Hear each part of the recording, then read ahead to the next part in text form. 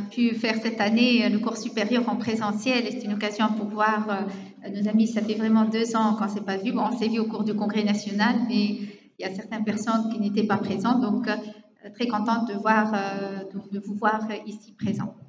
Donc, euh, merci au comité euh, scientifique de la STMRA de m'avoir euh, invité pour vous parler donc du parcours du patient atteint de fibrose pulmonaire idiopathique. C'est mes liens d'intérêt.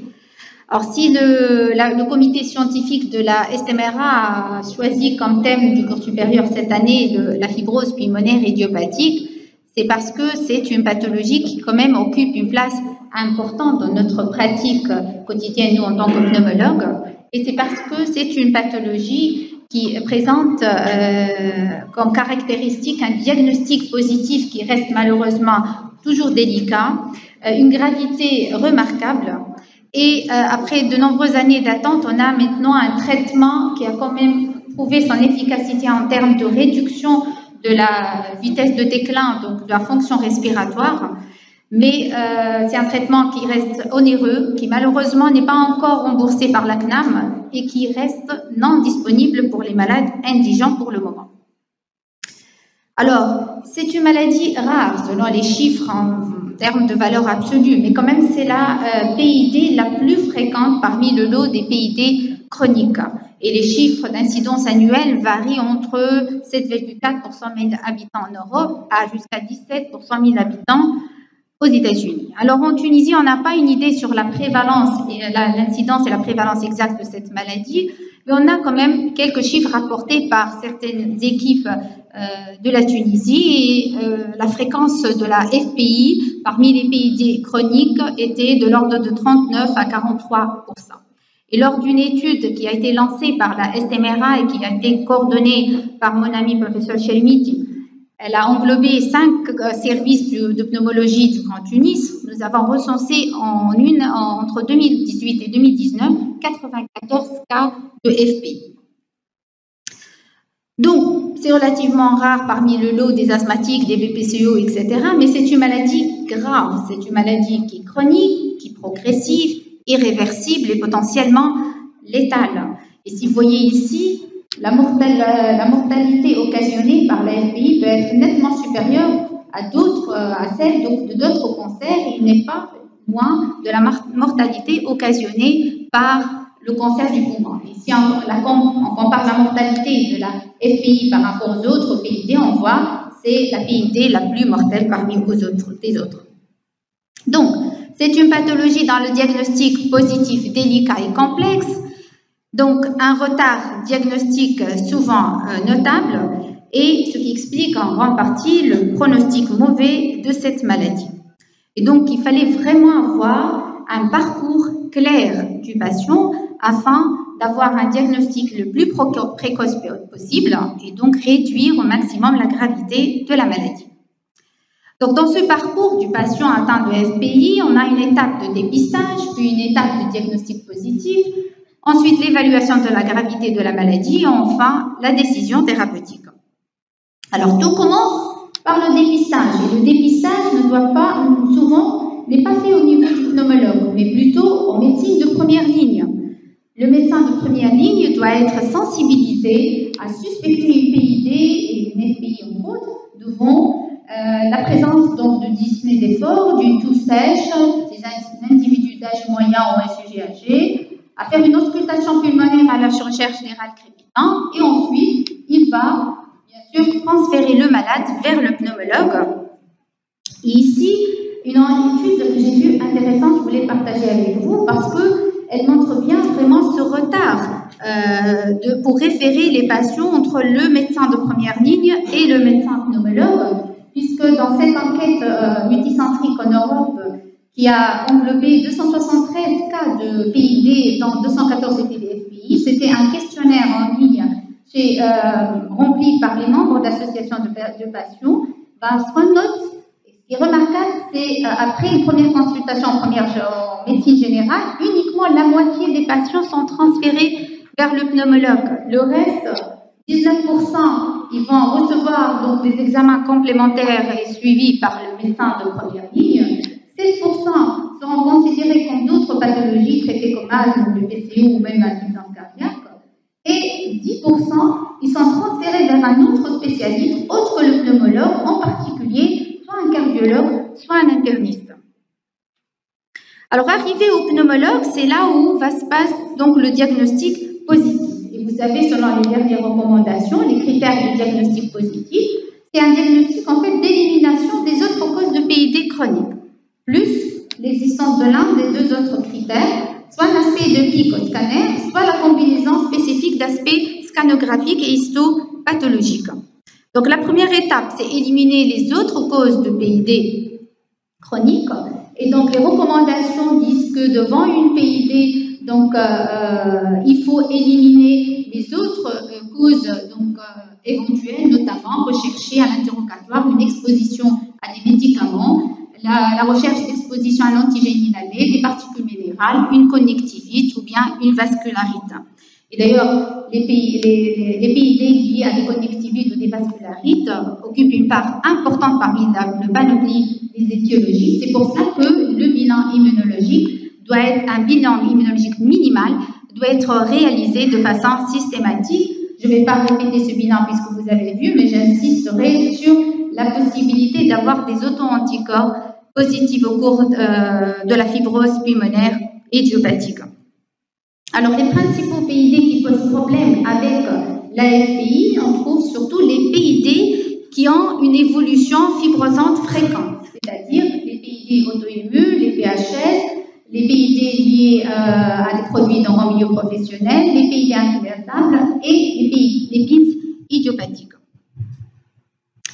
Donc le pneumologue, pour aboutir au diagnostic positif, il doit suivre une démarche diagnostique dans le cadre d'une approche multidisciplinaire et basée sur un faisceau d'arguments. Et parmi ces arguments, l'interrogatoire et l'examen physique occupent une place importante et l'interrogatoire qui doit être vraiment policier avec euh, la recherche du calendrier professionnel, même les professions les plus anciennes, l'exposition domestique, le contexte épidémiologique, les habitudes, les médicaments, etc.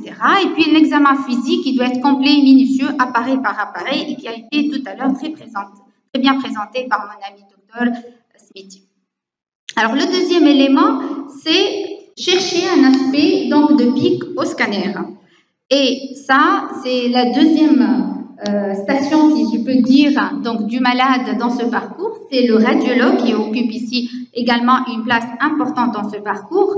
Et euh, j'insisterai sur vraiment la technique de réalisation de ce scanner qui doit être euh, respecté. Dans les nouvelles recommandations donc des critères techniques de réalisation de ce scanner que nous, les pneumologues, nous devons vérifier euh, ses qualités techniques afin d'interpréter donc afin d'évaluer la fiabilité de l'interprétation donc scanographique.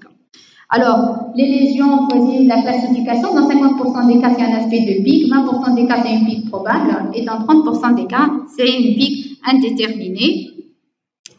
Dr Handous a très bien présenté ces images, c'est juste pour insister que dans l'aspect de pic, ou pic certaine, si on veut dire, donc c'est surtout rechercher cette distribution donc sous pleurale et basale, et la, la présence miel est un critère important pour le diagnostic alors qu'il est absent pour la pique probable. Et dans le, problème de l'aspect euh, de la pique indéterminée, euh, de l'aspect indéterminé, excusez-moi, qui peut être en fait une forme débutante de la, de la, FPI. Et donc, c'est des cas où on a euh, des lésions de fibrose, mais qu'on n'a pas les critères de pique ni certaines ni probables, et qui peut évoquer, évoluer en fait après vers une véritable pique. Alors, une fois donc le pneumologue a fait son bilan étiologique, le radiologue le scanner, maintenant pour aboutir au diagnostic positif, il faut qu'il y ait une, euh, discussion multidisciplinaire associant tous les intervenants. Également, en plus du pneumologue, du radiologue, il y a l'anatomopathologiste, le médecin de travail, le rhumatologue, l'interniste.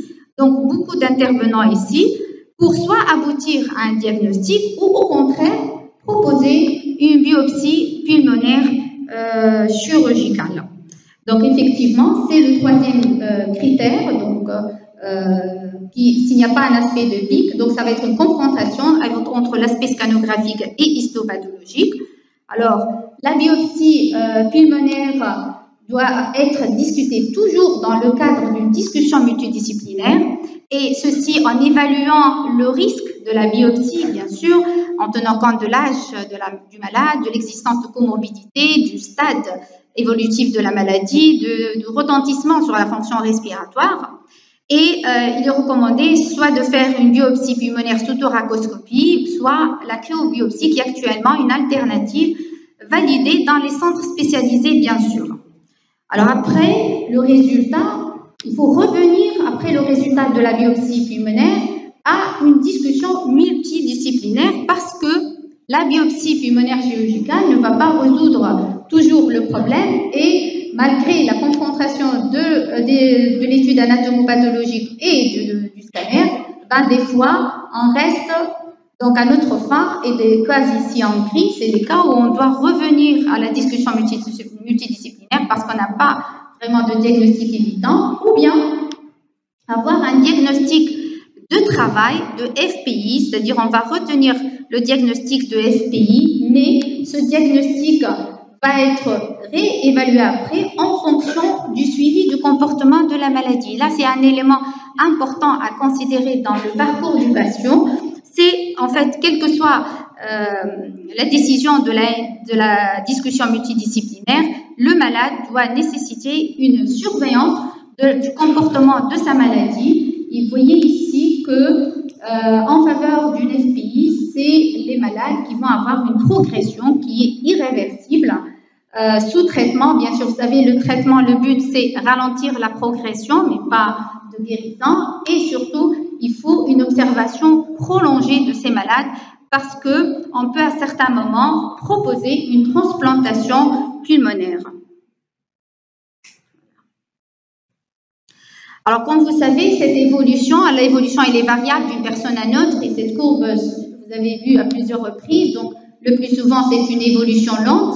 Il y a des malades qui cassent rapidement une évolution rapide, soit d'autres qui peuvent rester stables plusieurs années. Et là, il y a bien sûr les exacerbations au milieu qui peuvent aggraver l'évolution de la maladie. Alors ensuite, une fois le diagnostic de FPI retenu, donc la prise en charge. Alors la prise en charge, il n'y a pas que le pneumologue ici, il y a les antifibrosants, oui, mais la prise en charge doit être globale, il faut tenir compte euh, de toutes les comorbidités associées. Il faut proposer d'autres moyens également, notamment euh, discuter toujours en discussion multidisciplinaire l'éducation du patient, la réhabilitation pulmonaire, des mesures palliatives et surtout euh, insister sur le suivi du patient. Alors le suivi, si le malade est mis sous antifibrosant, doit se faire tous les mois pendant les six premières années, puis tout, six mois, excusez-moi, puis tous les trois mois. Alors, le suivi il est basé sur l'examen clinique, la capacité vitale forcée et la DLCO tous les trois à six mois. Le test de marche de six minutes à faire tous les six mois, tous les ans. Et comme a dit Dr. Chelmi tout à l'heure, le scanner, il n'y a pas de réponse claire, mais c'est préconisé de le, de le, contrôler de façon annuelle ou s'il y a un phénomène inter, euh, intercurrent. Donc là, il faut à ce moment-là euh, demander un scanner avant, notamment s'il y a suspicion d'embolie pulmonaire ou autre, d'autres examens, le scanner avec injection ou la gazométrie, l'échographie, etc. C'est des examens à demander si nécessaire. Alors, si je regarde vraiment le patient, alors puisque il y a une relation directe entre la précocité de démarrer un traitement antifibrosant et le pronostic et l'évolution de la maladie, donc c'est très important de raccourcir le délai entre le moment du l'apparition des symptômes et le diagnostic et le démarrage du traitement. Et c'est pour ça, ici, dans cette même étude que j'ai présentée tout à l'heure, vous voyez que 50% des patients qui, euh, après leurs symptômes, ils consultent la première fois en première ligne dans les trois mois qui suivent, alors que le reste, ils peuvent ici, presque les 20, plus que 20%, ils consultent après trois mois du début des symptômes. Donc c'est un délai vraiment qui est tardif. Ici, entre la consultation euh, de première ligne et la consultation du pneumologue, 73% consultent dans les trois mois, mais voyez ici que presque 20% consultent au-delà de trois mois le pneumologue. Et à la fin, pour aboutir au diagnostic, 62% ont le diagnostic après le début du symptôme, dans les trois mois qui suivent, alors que presque 14% ils n'ont le diagnostic positif de FPI qu'après une année d'évolution, après le début des symptômes. En plus, dans ce parcours, le patient, et dans cette étude, ils ont montré cette émotion négative qui a été rapportée par tous les patients et qui augmentait avec l'évolution en parcours. Donc c'est pour ça qu'il faut essayer d'alléger et raccourcir au maximum le parcours du patient atteint de FPI en sensibilisant déjà la population générale quant à cette maladie, également sensibiliser les médecins de première ligne et le personnel paramédical pour un dépistage précoce. Également, il faut euh, donc fournir, euh, donc il faut sensibiliser les médecins de première ligne pour un transfert rapide vers le pneumologue et surtout, il faut euh, multiplier les DMD afin de donc d'aboutir d'aboutir à un diagnostic certain. Et si vous avez noté ici, on privilégie vraiment les DMD virtuels. C'est une façon en fait pour raccourcir les délais d'attente. Ça permet aux médecins qui sont loin des centres de référence à présenter, à discuter leurs malades.